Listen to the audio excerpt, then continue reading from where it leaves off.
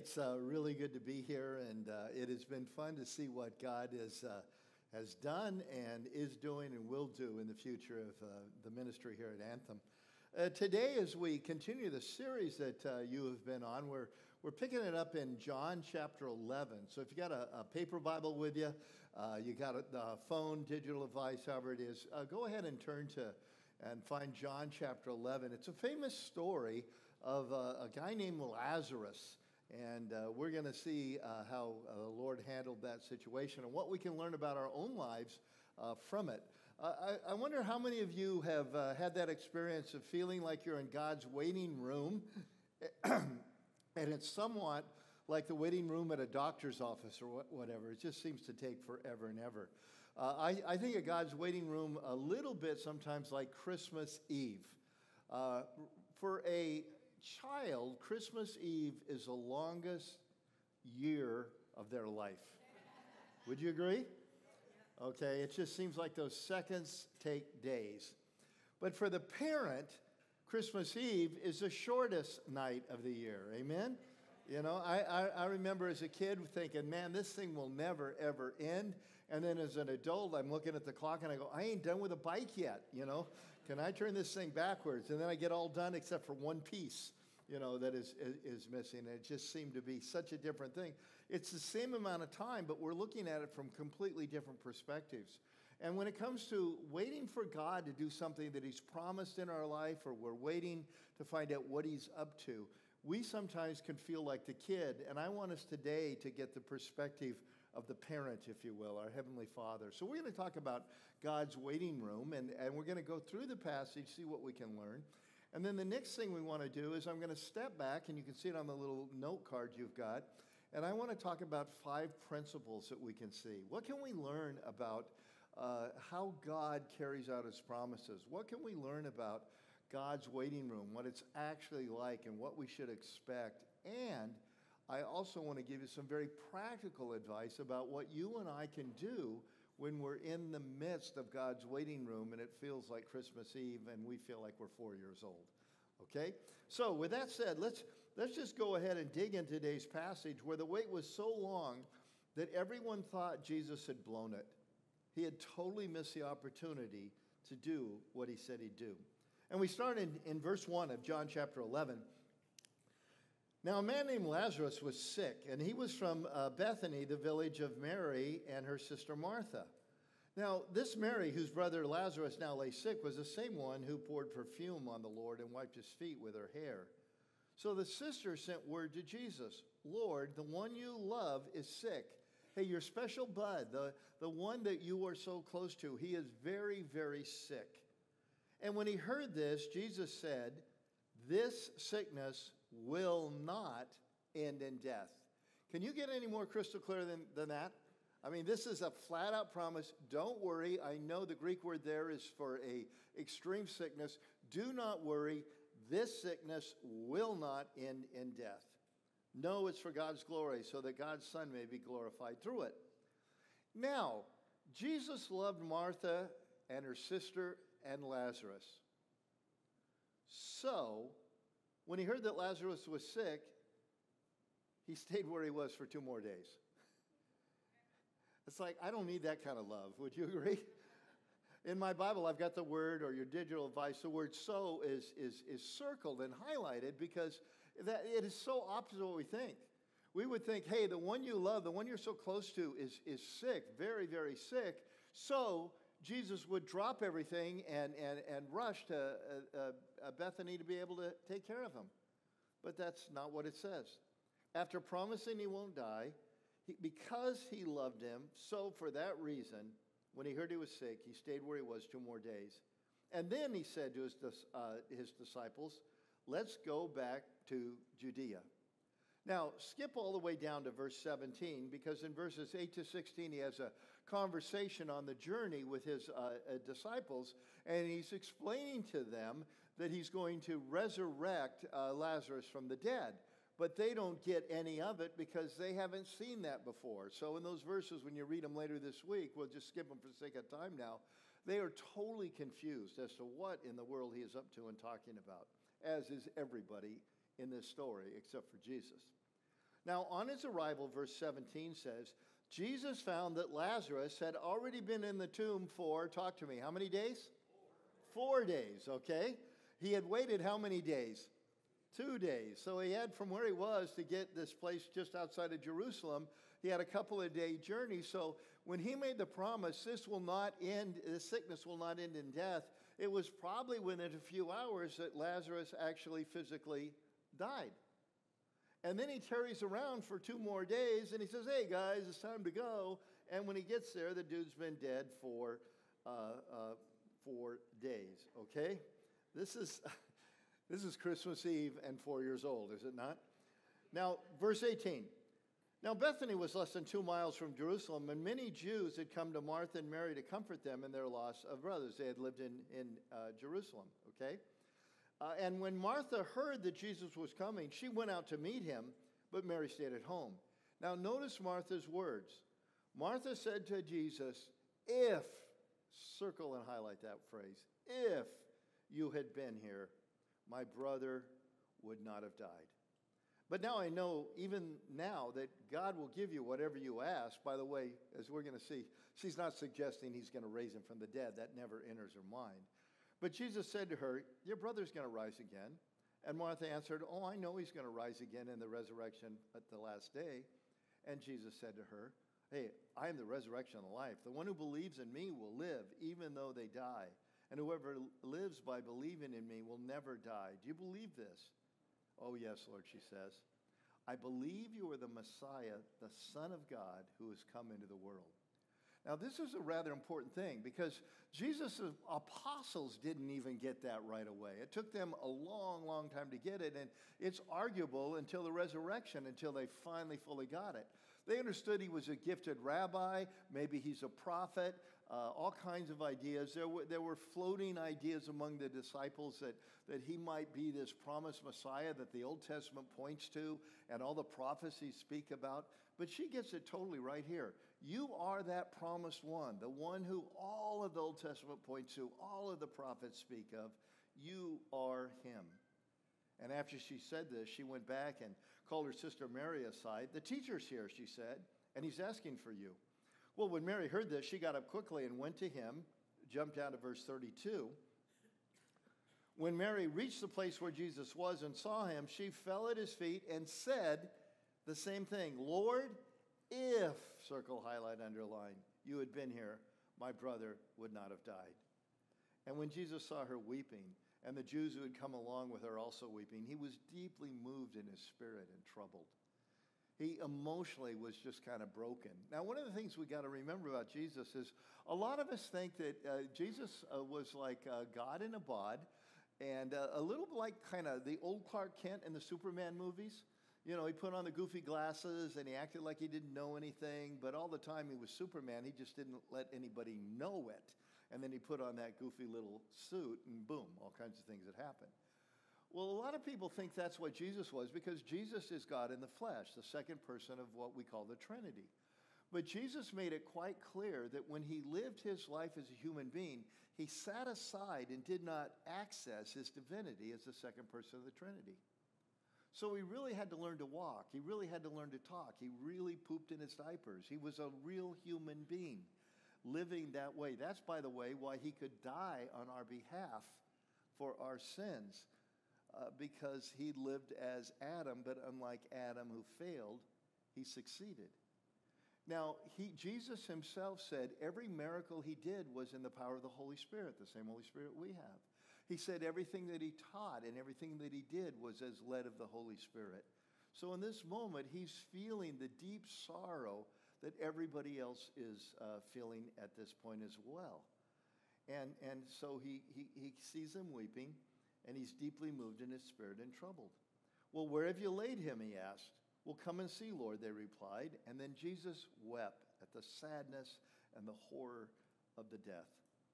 And then the Jews said, Oh, man, see how he loved him. But some of them said, could not he who opened the eyes of the blind have kept this man from dying? Think of all the miracles he did. Why didn't he keep this guy from dying if he's so special? And it kind of strikes me as, as a picture. There are always, always the critics who think they know what God should have done. Ever been there in your own life and, and known people, well, this is how God should have handled it. And so they're over there critiquing Jesus at this point. Now we pick it up in verse uh, 38. Jesus, once more deeply moved, came to the tomb. It was a cave with a stone laid across the entrance. Take away the stone, he said. But Lord, said Martha, the sister of the dead man, by this time there is a bad odor, for he's been dead for four days. Like, what are you talking about? He stinketh. There's, there, there's, there's no way we want to roll away this stone right now. And here's what I want you to catch. Earlier, I pointed it out to you. When she said, I believe that you are the Messiah, when she said, I know that anything you ask the Father will be done, it had never entered her mind that, oh, good, Jesus is here to resurrect him from the dead. In fact, when he says roll away the stone, she protests and said, like, why would we do that? He's started to rot already. We can't do that. And then Jesus said, Did I not tell you, if you believe, you will see the glory of God? So, circle, highlight, underline, they took away the stone. This is going to become very important as we look at what life in God's waiting room is like in a few moments, because their belief was not positive thinking. Their belief, uh, they weren't like, oh boy, let's see what Jesus is going to be up to. They were like, dude, you have no idea. The smell is going to knock you over. But they believed enough, even though they were sure the smell was there, Lazarus was dead for good, they believed Jesus enough to do what he said to do. They had zero expectation that Lazarus is anything but a rotting corpse. But they took away the stone. Then Jesus looked up and said, Father, I thank you that you've heard me.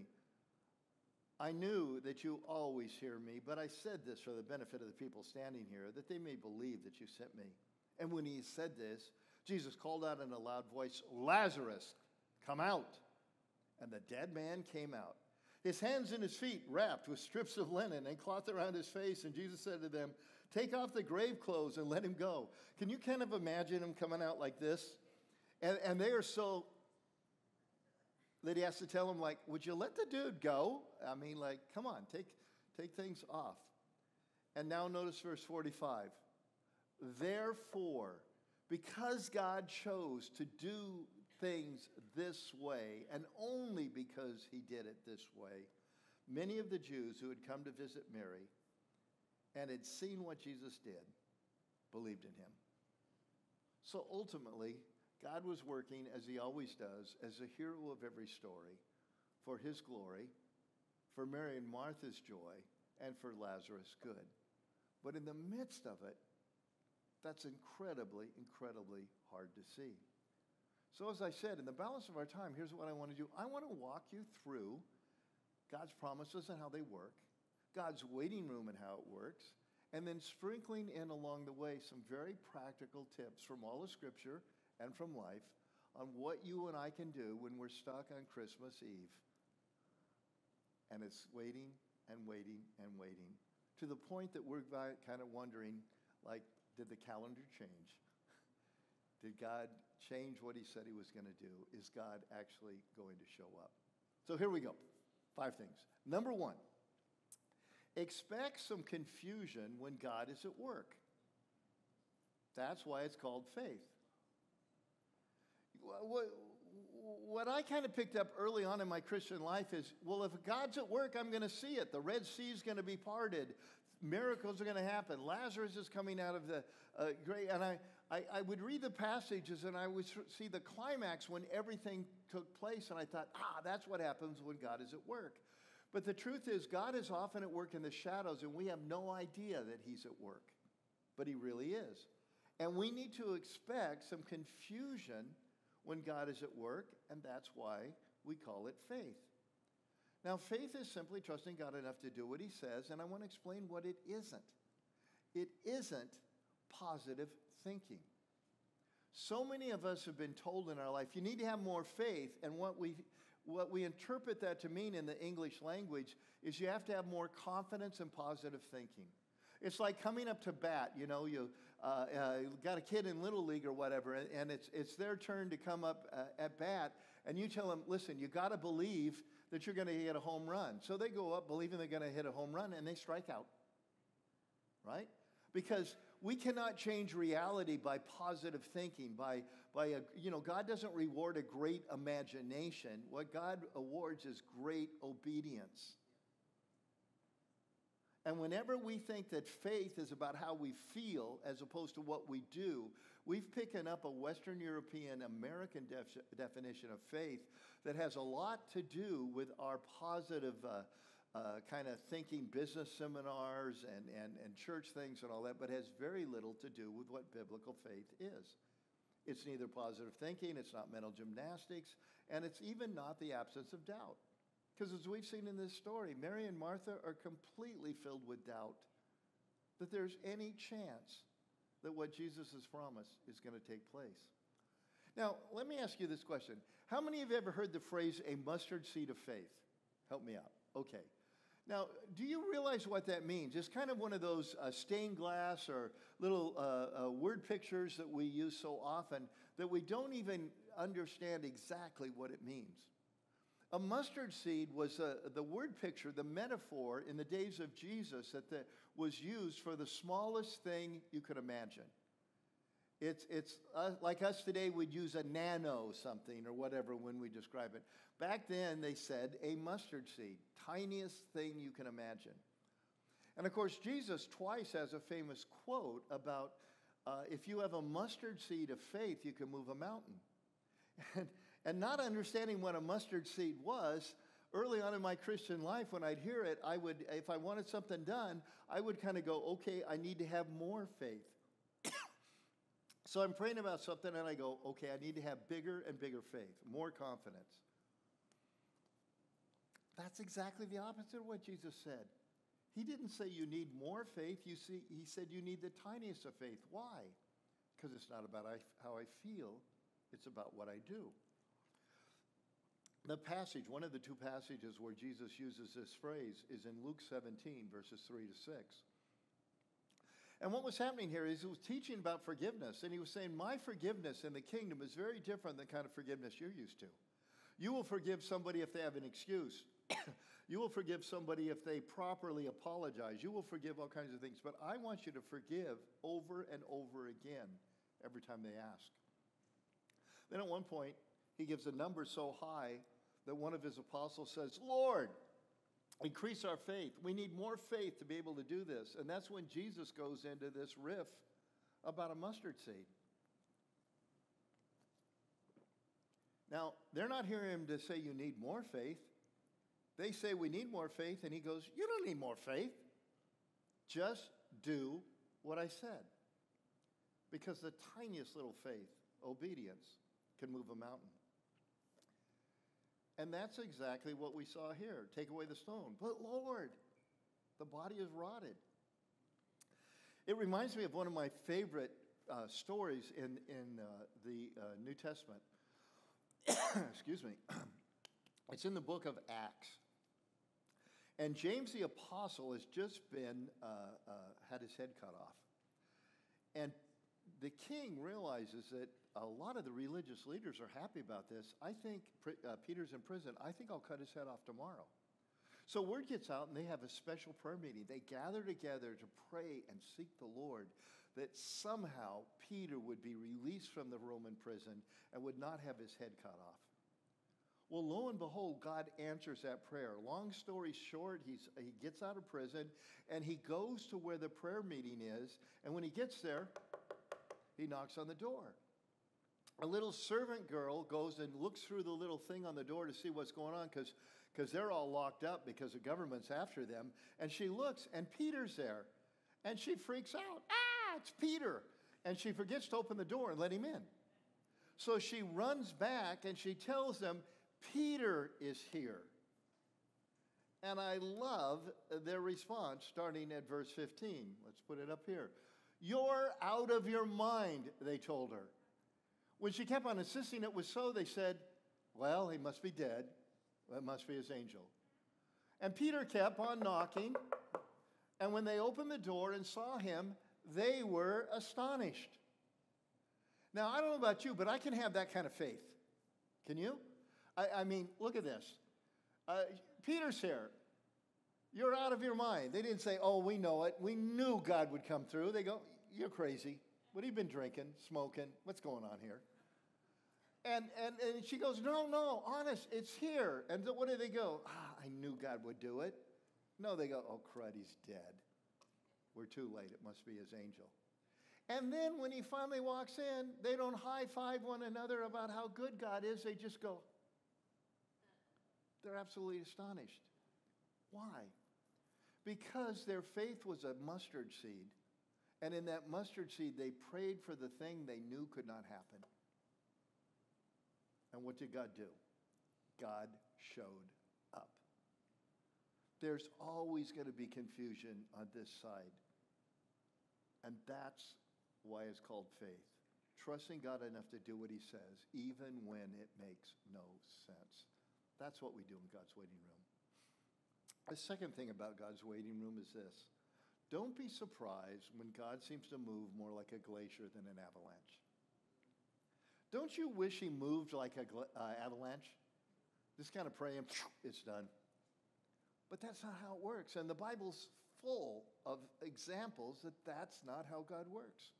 There's one in the book of Daniel about uh, Daniel praying to the Lord, How long are we going to be exiles here in Babylon? You've promised that you will return us to Jerusalem. How long is it going to be? And he fasts and waits upon the Lord and prays for 21 days. And then this angel shows up with the answer. And, and, and Daniel's kind of wondering, like, why 21 days? And then here's the crazy thing the, the angel says this The day you began to pray and fast, the Lord sent me with an answer. But I ran into the prince of Persia, a description for a demonic uh, uh, uh, force in the unseen realm. And I was delayed for 21 days until an archangel came along and kind of broke me through, and here I am. Like that screws up my theology. Like, I can't tell you how big. I mean, when God sends an answer, I expect it to be immediate. And right there, God's pulling back the curtain to the unseen realm, which he, the Bible doesn't often, but when it does, it's got important stuff to say there's a battle going on. I'm not going to tell you why, because that's what I want to know. Why? How come? I've got all these questions. He just says, I'm going to tell you this there's a battle going on. And I'm at work. And very often, it's going to take longer than you would think for reasons that you're not mature enough, smart enough, or you're not God enough to be able to understand. But I'll let you know that's what's going on. You see, an avalanche is pretty powerful. I had a sure tail relative that was killed in one of them, sadly. Uh, but an avalanche, despite its power and its force and, and all of that, the awesomeness of it, if you go there five, ten years later, you won't even know where it happened. It's like you can't even tell it happened. A glacier is the exact opposite. Uh, how many of you have ever been on an Alaskan cruise? Help me out. Okay, those of you who have, do you remember going to Glacier Bay? They always take you there. You go into Glacier Bay, and it's a really cool thing if one of the glaciers calves and splashes in the water, and they tell you that it happens all the time, but it never happens on the day you're there. And so you spend a day watching ice melt. It's like, what in the world's happening here? Well, what's happening is, unlike an avalanche, you can't tell it was there later, a Yosemite or a Yellowstone is being carved out of those mountains. That's how God works, like a glacier. God's timing is seldom going to be your timing and mine. That's one of the most important things I've had to learn. 2 Peter 3 8 to 10 puts it this way But do not forget this one thing, dear friends. With the Lord, a day is like a thousand years, and a thousand years like a day. The Lord is not slow in keeping his promises, as some understand slowness. As I said, we're the four year old on Christmas Eve, and God is going, like, I'm putting a bike together. and I'll, I'll, I'll, do it at my pace and, and, and my time.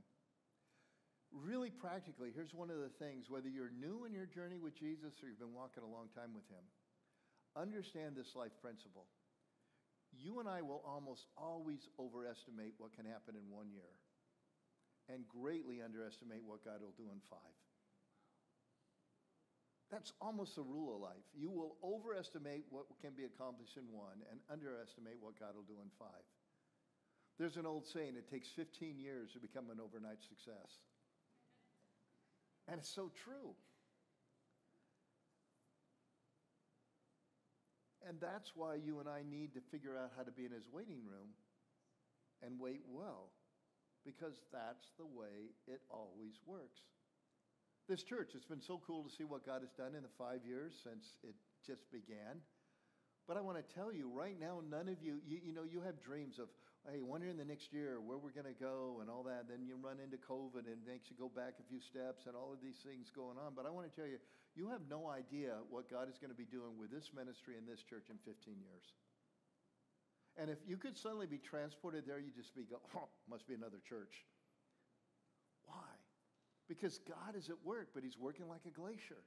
And He's carving out something great. And the churches that will be planted out of this church, the lives that will be changed, and the things that, that are going to happen are so beyond what you can imagine right now. I went through those same experiences in my own life when North Coast was starting. Like, are you kidding me? God has that same thing for you as a church. And God has that same thing for so many of you as individuals. But day in and day out, it doesn't seem like it. You see, part of the problem is if you've been a Christian very long, you read your Bible. No, don't stop there. It's good you read your Bible. But the problem is, you read your Bible and it's kind of a highlight reel, and we don't realize that. So imagine you, you've been in another country and you've heard about American football. You know you're going to be moving to America in a few years. So you start watching highlight reels of football games. Or you even watch those games that, you know, just show the main plays. And so you think an American football game takes about 30, 35, 40 minutes. And then you go to a real one and it's four hours. Because they got commercial breaks and they got a halftime and they got this and they got that. And you're going, what's up with that? Well, that's how it is when we read the Bible. You can read the book of Acts in 30 minutes. But we forget it took 30 years for the book of Acts to be lived out. And it just happens over and over again. Abraham was promised by God see this land when he's up on a hilltop? All of this is going to belong to you and all of your descendants forever. And then God says, by the way, it's going to be 400 years to get it. 400 years. Now we read that number and it's just a number goes over our head. Go back in the calendar 400 years ago and realize what was going on in this world and God had made the promise now, and only on the 4th of July of 2022 does it take place. When Joshua, the guy who followed Moses and led the children of Israel into this promised land 400 years later, when, when he started, God told him this Hey, I'm going to drive out all of your enemies. And then he says, But I'm not going to drive them out in a single year because the land would become desolate and the wild animals too numerous for you. Little by little, I will drive them out before you until you have increased enough to take possession of the land. Abraham. Hey, I'm going to give you a son, even though you haven't had a son yet and you're getting pretty old. 25 years later, he finally has that son. David promised that he's going to become the king of Israel. 25 years later, that crown is placed on his head. God's waiting room is always moving slower than we think. Whoops, it's supposed to go like this. Sorry about that. um, he's at work at the shadows. Always, always at work in the shadows. It's part of the game. Number three, at the end of the day, God's timing will always prove to be perfect. I want to tell you, on day two, when Lazarus died, it didn't feel very perfect, did it? On day four, when Jesus finally shows up, it doesn't feel very perfect. When he walks to the tomb and says, roll back the stone, it doesn't feel very perfect. But when all those who'd heard about this guy that was doing miracles and all that saw what God actually did, and they therefore believed, suddenly all the pieces came together. I guarantee you in heaven there are no Yelp reviews about how God screwed it up. It all will make sense when it's done. His delays are always for our benefit, though sometimes we feel like that toddler. You know, a toddler gets a little box, stands on it a little bit, holds on to the side, reaches in and pulls out a very sharp knife. How cool is this? And then mom or dad come along and take it away. And that toddler's got to be thinking at that moment, how can an all powerful, all loving mom or dad take away my new toy? And often that's what we're experiencing when we wonder what God is doing. How could an all loving uh, God, how could a, a God who can do all things, how in the world would he be doing this? Why would he wait two days? Why would he let Lazarus die? And when the story's all done, we will all go, This is the most amazing thing ever. Because his timing is absolutely always, always perfect. Number four, we never want to do the wrong thing to speed up the right thing. God doesn't ever need our help. And if you're like me, sometimes I found myself in a situation where I know exactly what God wants done, but I keep running into obstacles or things that make it not uh, happening yet. And, and there are times and places where if I will just make a little compromise, if I will just take something into my own hands, I can speed up the process and I can get where God needs it to be. But the fact is, doing the wrong thing to speed up the right result always ends up in a disaster. It is one of the great temptations of life to say it hasn't happened yet. There's a story about a guy named King Saul in the Old Testament where he was told by a prophet Samuel, after you win this victory, you're supposed to do certain things and you're supposed to make a sacrifice, but wait until I come. And what he chose to do was Samuel didn't show up in time. And day after day goes on. So he decides to take it into his own hands. And he's doing the thing just as Samuel shows up. What he did was a right thing, but he did it at the wrong time, so therefore it was a wrong thing. We never want to step up and break God's timetable, step up and do some compromise of what we're not supposed to do, because if we will just nudge it, what God is trying to accomplish will take place. It never works out right. You know the story of Moses? Well, he apparently knew from a young, very young age uh, that he was uh, born to be the deliverer of Israel from their centuries of slavery in Egypt.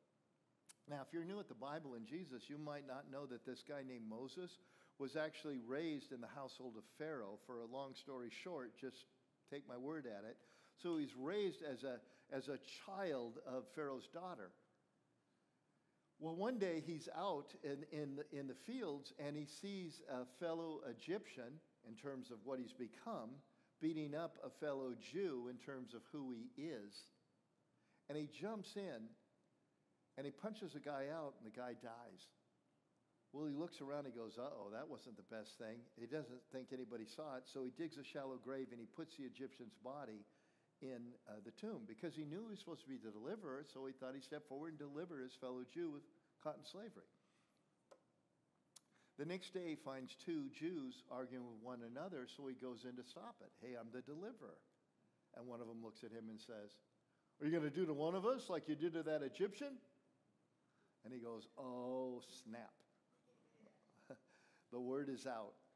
And so he runs into the wilderness and he stays there for 40 years. 40 years in the wilderness until a burning bush shows up and God says, Now it's time to go back and deliver my people. He spent 40 years in the, in, in the desert when he could have spent those 40 years in the palace. Why? Because he tried to help God out. He did the wrong thing.